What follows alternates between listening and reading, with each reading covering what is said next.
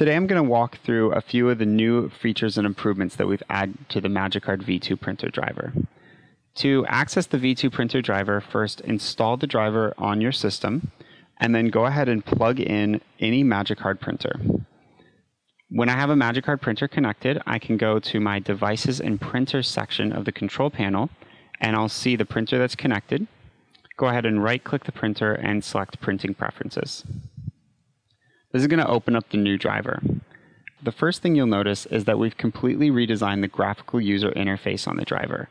No more do we have tiny tabs at the top.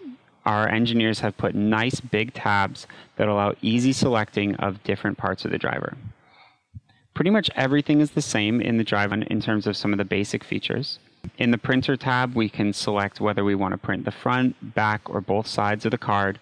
We can select between two default card sizes and we can tell the printer what type of card we're printing. On the card front and back, we've made major updates to the way that you interact with the cards and set the colors.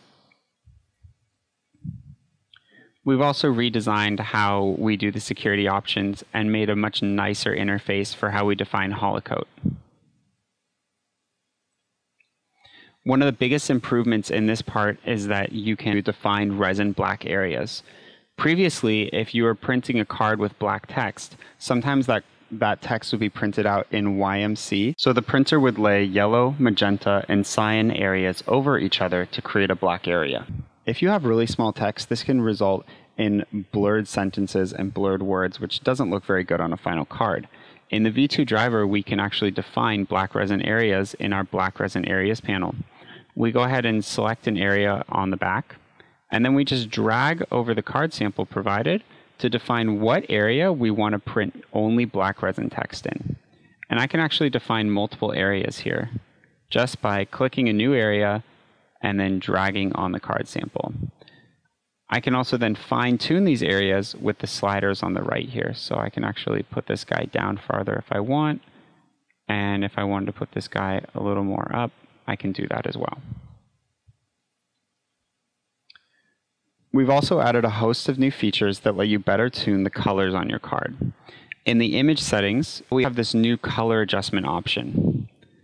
And what the color adjustment option is it actually gives us a preview of what the card might look like and then allows us to adjust the contrast, the brightness, the color,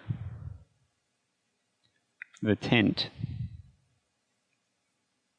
and the input gammas of the image that we're printing. It also allows us to define black reference colors and white reference shades. We can switch between different colors to kind of get an idea of what the final color palette that we're developing here looks like. This is a really powerful tool because it allows you to perform extremely fine color adjustments on your cards so that if a color is not coming out a certain way, you can finally adjust how that works and make sure that your cards print exactly how you want them.